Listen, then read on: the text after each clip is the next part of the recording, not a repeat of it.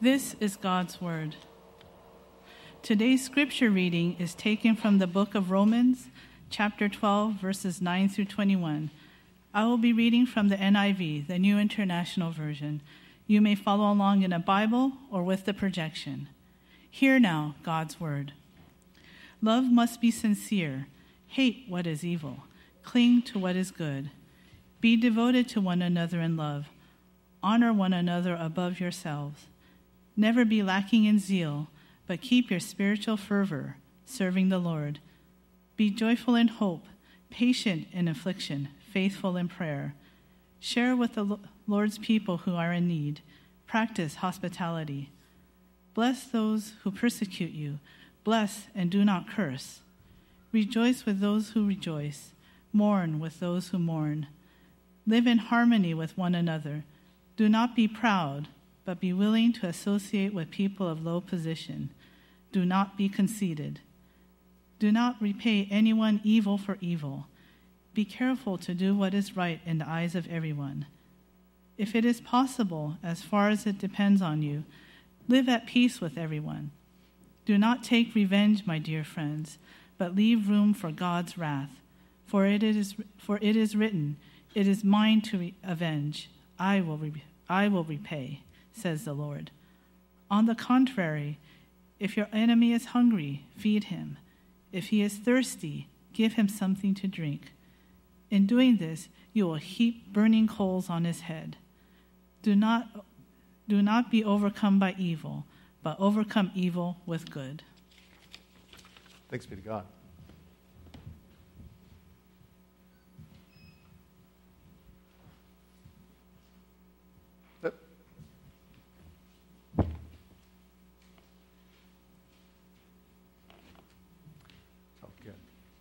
Can we just kill the lights?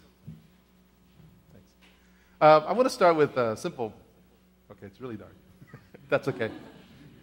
I want to start with a simple word association. Um, you know, actually, my face is better in darkness. So, uh, I'm going to give you a word and just, uh, I mean, you know, shout out the or say the first word that comes to mind. So it's word association. Okay, are you ready? All right, here we go. Here's the first word, okay? Word association. Everyone knows what this is. Here comes the first word. What's the first word that comes to your mind when uh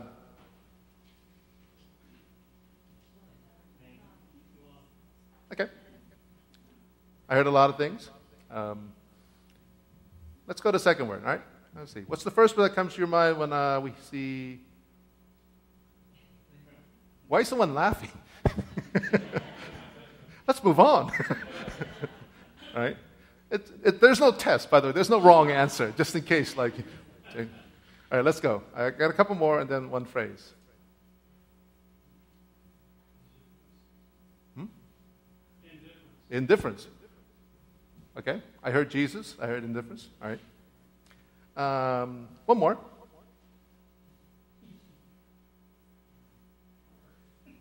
Did someone say perfect? Okay. It doesn't matter. I, I, I, didn't need to hear the answer. I just want to sort of get you thinking. One last thing. This is a phrase. What's the first word that comes to your mind? And just say it, say it out loud if you uh, can. Being church. Um, we're going to talk about being church. And these words that I sort of asked you to think about, they sort of fit in. But uh, um, we're going to start with, and really, this is the end of our sermon series on uh, gospel shaped worship. And it's really all about, so therefore, as uh, as we've talked about gospel shaped worship, how does it all fit into being church? How, how do we get to be church? So let's uh, get into it, but first let's pray. Father, we thank you for this opportunity to come and to once again be led by you and to reflect upon your word. We pray, Lord, that uh, you now speak to us about what it means to be church. Uh, we pray all these things in Jesus' name. Amen.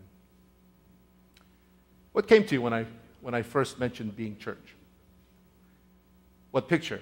Uh, came to your mind and your heart? I don't know if you said it. What do you see? Do you see a building? Do you see people? Do you see building with people?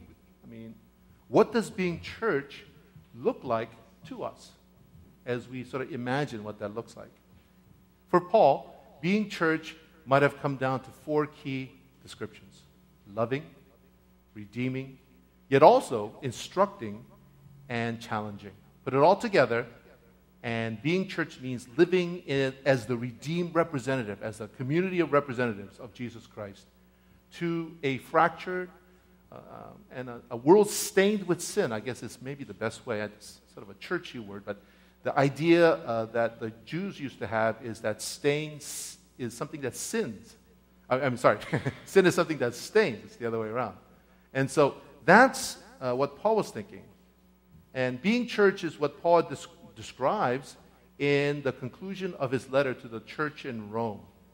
And we read this in our passage in Romans chapter 15. I know there's 16 chapters in Rome, Rome uh, Romans, but actually chapter 15 is really the substantive end of that book.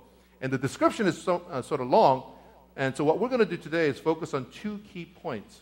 So let's, let's start with the first one. Right? Paul begins by reminding us that being church must be about, and this is the big one, that uh, it's about uh, being church is being loving. Being church is being loving. He writes, Love must be sincere, hate what is evil, cling to what is good, be devoted to one another in brotherly love, honor one another above yourselves.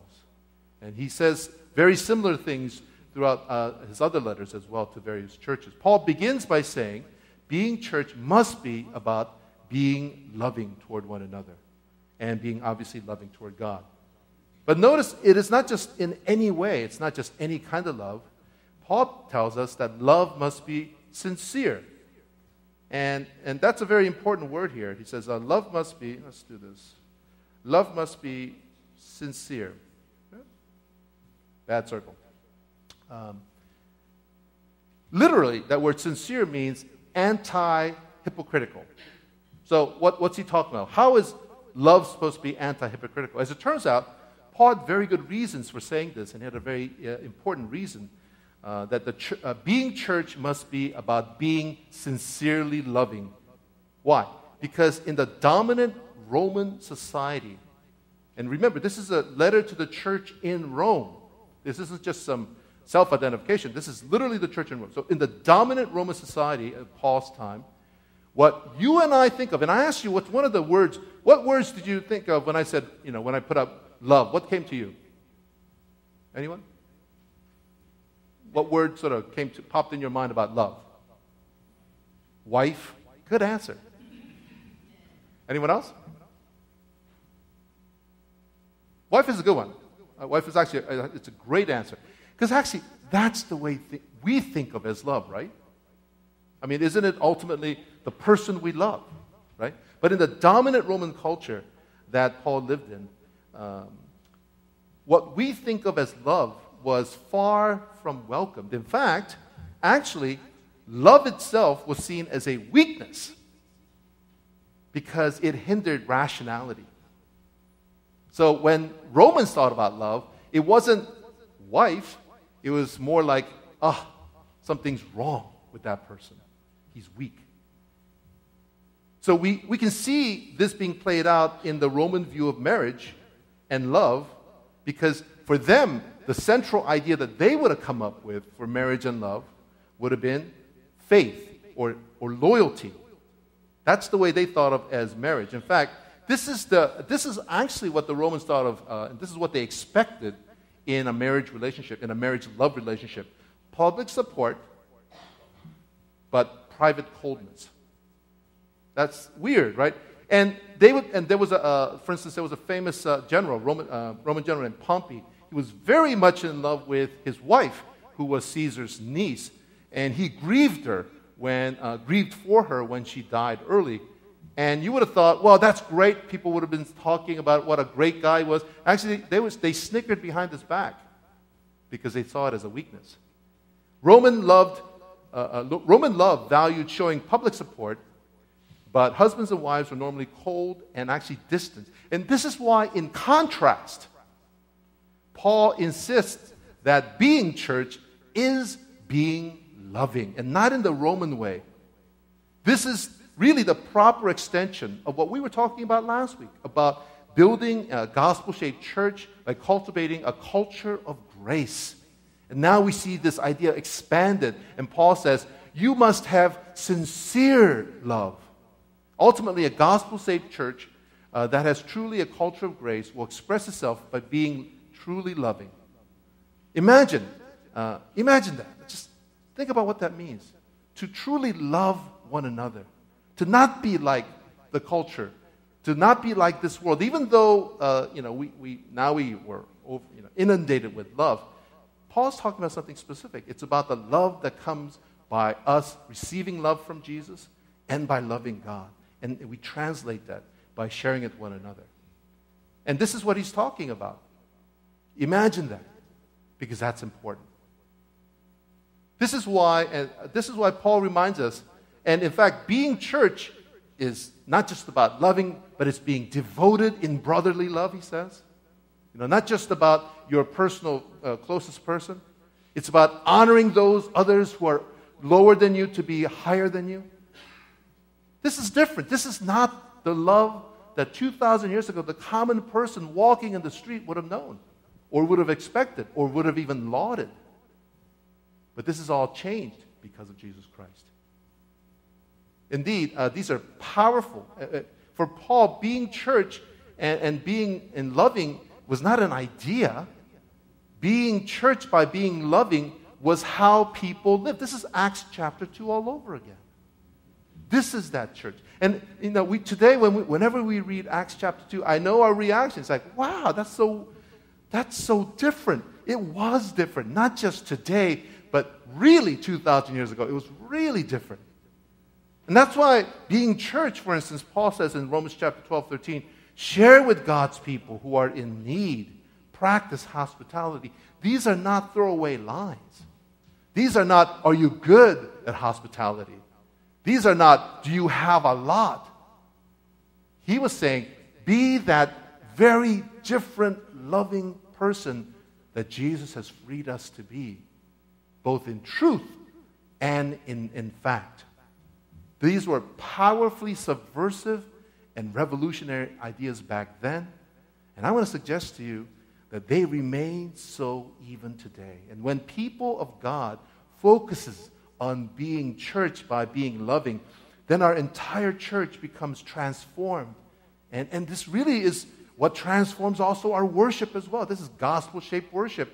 When people start loving one another and, and, and we make love the thing that really motivates us and desires toward God, desires toward one another, that transforms the worship, which is our everyday life.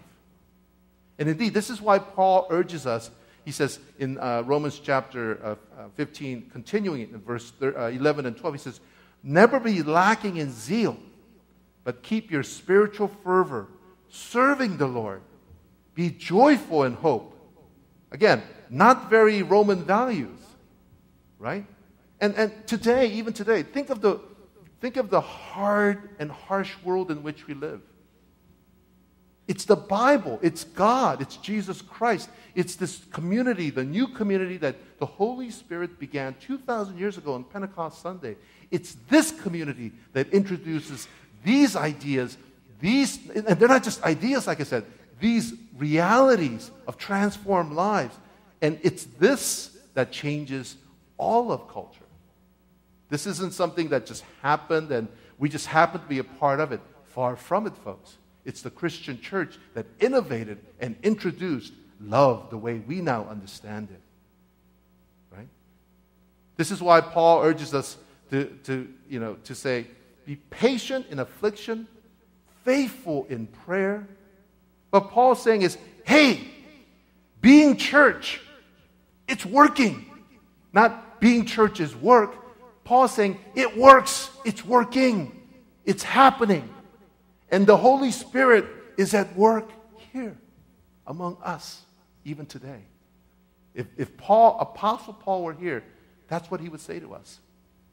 And as we start loving one another and, and, and receiving love and sharing love and, and, and being intentional and self sacrificial, all the things that come not out of duty, folks, but that other subversive, revolutionary love, the love that Jesus Christ showed us by going on the cross, dying on the cross for us. And we think of it as just paying for sins. It's not, folks. That's love. Right? That's love.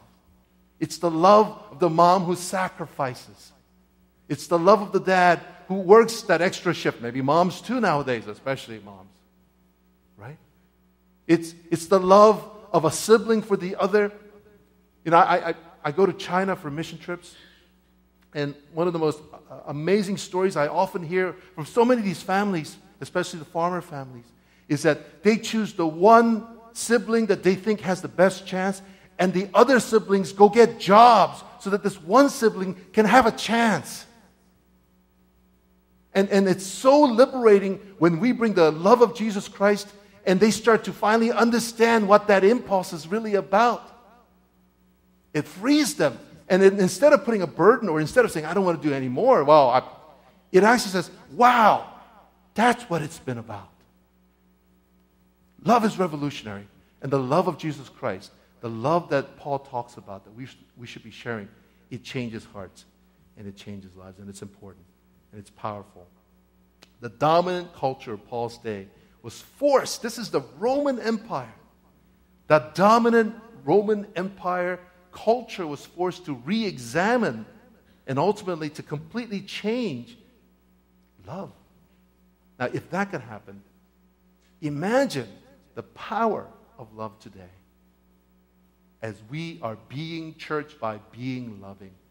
I really think that that same love will not only just transform us, I think that's the best chance we have for this culture, folks, the world that we live in. And being church all begins by you and me committing ourselves to sincere love for God and for one another. Do me a favor. Turn, if you're sitting with your spouse, turn to that person and say, I love you.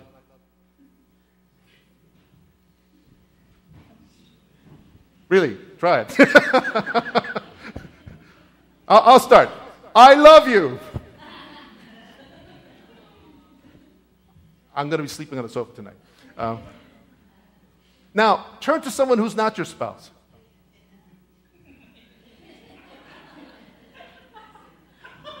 Why are we, why are we, just turn to someone who's not your spouse and say, I love you.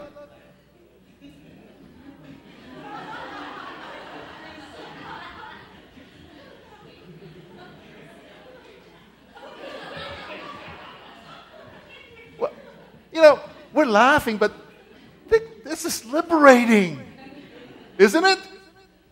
Right? We just did it for five seconds. Imagine, imagine the power. And we think of power as me being big. That's the world speaking. Real power is me being lower. Right? Dietrich Bonhoeffer said Christians th- shouldn't think about becoming powerful, we should think about going lower. And I, I believe that. I think he was right. Because I think he was talking about, and he was in tune with the Holy Spirit and what the Bible is saying. Right?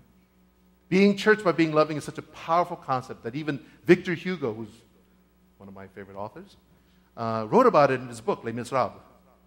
Speaking of, now he's not talking about a church, he's talking about a part of a church, the altar, but it sort of fits here. Just stay with me for a second. Speaking of what to him is the most beautiful altar, the, the character that Hugo's writing about says this. He says, The most beautiful altar, there we go. The most beautiful altar is the soul of an unhappy creature consoled and therefore thanking God. I'm going to read that again. The most beautiful altar, beautiful of altars, is the soul of an unhappy creature who's been consoled and now is thanking God. And how are unhappy people consoled? By being loved. Right? That's the best consolation, folks. By being loved by people like you and me in the church. For that is what being church by being loving can do. It transforms through loving care even the most broken people into the most beautiful of altars for God. And indeed, that's what Peter talks about. Actually, in uh, I think it's First Peter when he talks about, you know, understand you are the, you are the, the rock on which the, uh, not Jesus' words. You know, he says, it's the 12 rocks. He talks about, you know, build an altar for himself. That's what Peter's talking about. This brings us to our second point, which is the second key description. I just got the two today. Love must be sincere. And so being church uh, is hating evil. In, in order for love to be sincere, love must hate what is evil. We must hate what is evil. We must cling to what is good. This is Romans chapter 15, verse 9. As we are now transformed, and this is a, the challenging part, into the gospel shaped church, as our worship, as our culture, as our very interaction gets changed, one of the, the strongest signs that we are headed in the right direction will be that we will start to hate evil and cling to what is good. Hate evil and cling to what is good. What does that mean? Paul's picture of hating sin and evil and clinging to what is good is one of the most practical instructions actually we can find in the Bible. It actually has uh, uh, this idea. Hate, the word that he uses for hate, imagine uh, everyone has strong magnets at home. You know, you know what I'm talking about, right? If you turn it on the ends, the, the, the poles, the same poles, and you try to bring strong magnets toward each other, what happens? Right? Can you, can you, can you do it? If you're a really strong person, you might just do this, but you can't. So the word that Paul uses for hate what is evil is actually revulsion and repulsion in that sense. Right? We are to, and this, this, this is something that happens as, again, love takes over. And when love takes over, when we see what is evil, we will have this reaction. And in many ways, the sadness of our culture, folks, is that when we see what is evil, as Roman, Paul talks about actually in the beginning of Romans, uh, oftentimes we live in a culture that we don't just tolerate evil, we approve people who are doing evil. And Paul writes in Romans chapter 1 we invent new ways to do evil and to be sinful.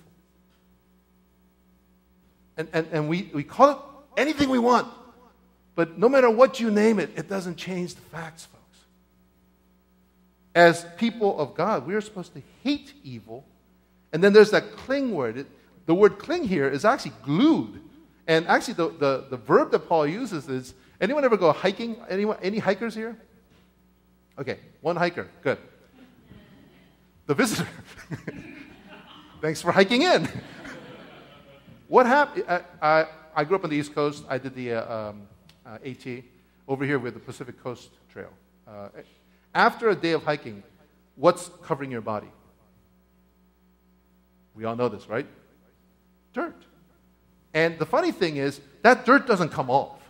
I mean, like, it's, it's weird. You could try to brush out your, uh, your, your boots. There's some dirt that never comes off. And so, actually, the verb that Paul uses uh, when he says cling to what is good, it's what he's saying is he's using the same verb, like that, the dust that clings to you after a long, hard day of hiking. We're supposed to cling like that to what we're supposed to hate, be repulsed by, and repulse what is evil, and we're supposed to cling to what is good. And th- this is the image that, uh, that, that Paul uses. What is evil? Evil is opposing God's holy commands. Evil is ending up somehow doing the exact opposite of what God tells us is good. Evil is putting ourselves in front of others. Evil is becoming wealthy beyond description without any care in the world for God's word and God's command that we should care for the, the, those who are lowly and suffering. Evil is when we say that we don't need forgiveness because we're good enough, because we're smart enough, or rich enough, or powerful enough, or self sufficient.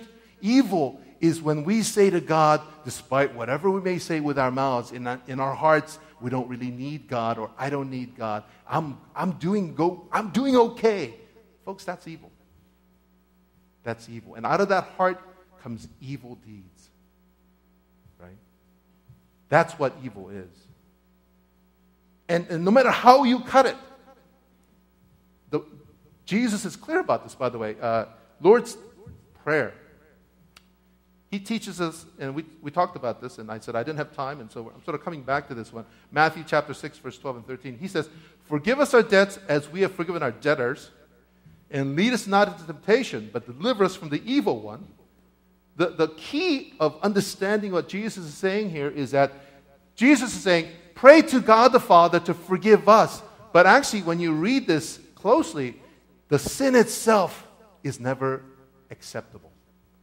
The evil itself is never accepted by God.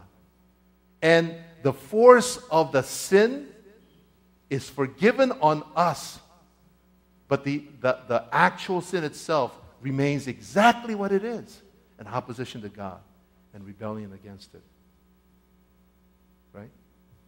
This is, this is the reality of sin. The good news is that through Jesus Christ, He will redeem the worst of sinners. Sinners as sinful as me. I, I, I'm not proud, folks. Actually, I am proud. That's my problem, actually. you know, I'm a wise, wiseacre. I'm, I'm proud.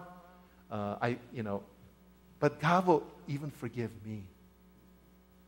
God will forgive you.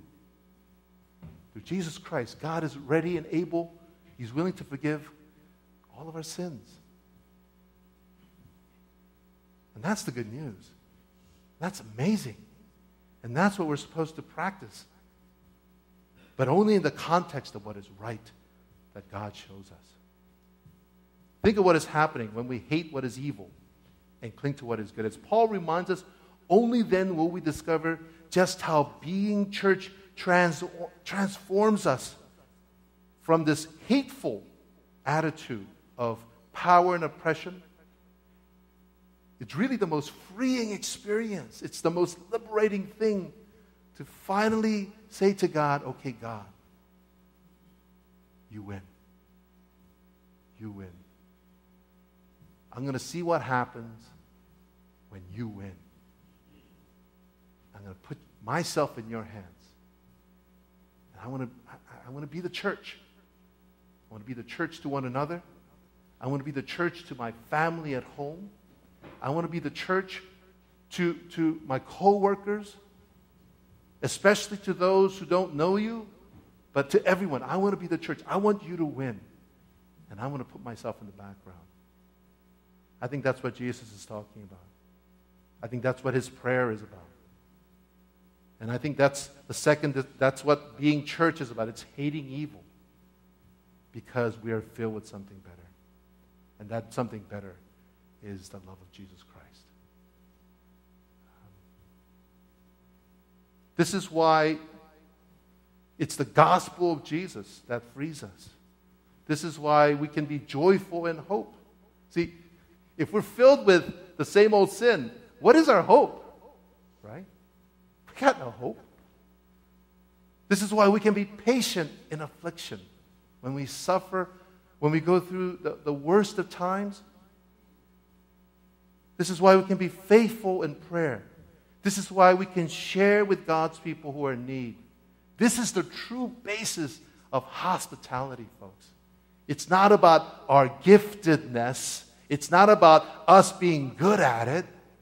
It's about us being freed by God to finally say, okay, I'm going to try to love you. It's, it's not easy because I'm not very good at loving, but I'm going to just, I'm going to give it a shot. That's what this is about, folks. And it goes even further than that. Paul says, Bless those who persecute you, bless and curse not.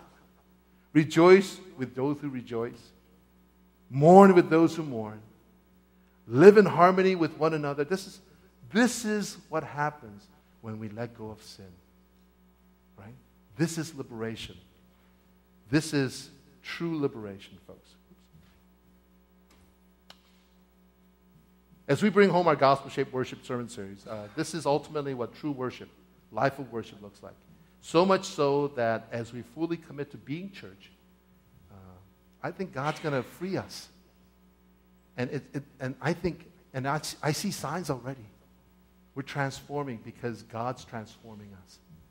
And we're going to be, we're going to be that church That's not no longer, you know, worried about, oh, geez, we can't, you know, we can't let anyone in. We're going we, we need to become, because not only is it right, it's, it's what's going to save us, folks.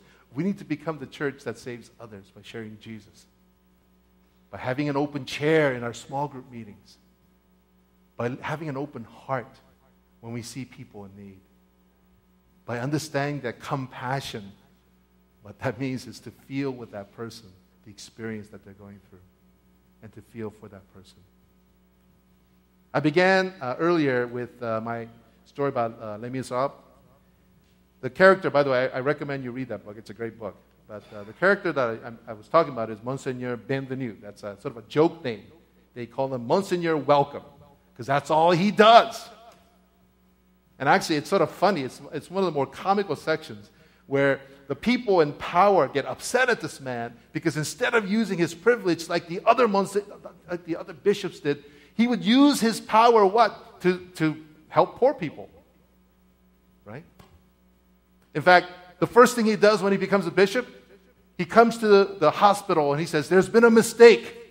You have enough room for six people. I've got enough room for 60. You're in my house. Get out. Go live in that house. And it really upsets the powerful people, right? And that's why to him, you know, that altar, the most beautiful altar is the, the broken soul that's been consoled by God and now is thanking God. It all fits. And of course, now, if, how many people saw Les Miserables, the, Les Mis, the movie or the show? Then, and only then, after that, we meet the character that sort of describes that situation, Jean Valjean. Jean Valjean is a thief. He comes into the bishop's house. He steals the silver. You know the story. You know. By the way, if I ruined the story for you, I'm really sorry. Um, but there's more. You know. But rather than condemn this thief, Monseigneur Bienvenu frees him in Christ. And actually, that's not quite the truth. He frees him to Christ, and he sends Jean Valjean in off into a world, but he says this to him. And this is the thing. And this is what, you know, hating sin and really loving is really about. And you probably heard this. He says, Jean Valjean, my brother, you no longer belong to evil, but to good. You no longer belong to evil, but to good. Right? If that's not the practical application of, or, or the, the, the basis for ha- hating what is evil and sinful. I don't know what it is. He says, You no longer belong to evil, but to good. It is your soul I buy from you. I withdraw it from black thoughts and the spirit of perdition. Perdition means loss. You know, it, it, literally means going to hell. So he says, I buy your soul, I, I withdraw it from those blackness, which, you know, means evil, and of, of hell. And can we read the, can you read the last part? And let's read together. And I give it to God. And I give it to God. What a beautiful picture. Multiply this picture by the number of people here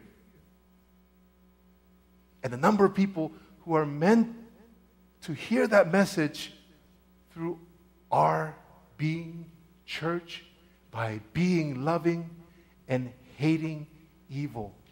And, and, and you have, you have the church, this church that God wants us to be.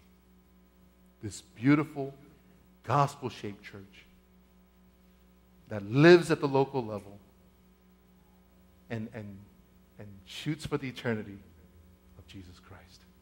Friends and brothers and sisters in Christ, um, we, got, we got a lot of things that, that's coming ahead. And, and maybe this is the, I sort of announced it ahead, but you know, this is, this is not easy work. I mean, there's a lot of complexities. You know, we have a journey, including the journey about our congregational decision about our uh, Presbyterian Church USA uh, affiliation. Uh, is, is that our future? Is, maybe it is. Maybe or maybe God's calling us to another Presbyterian denomination. I don't know. That, that's up to us to pray about.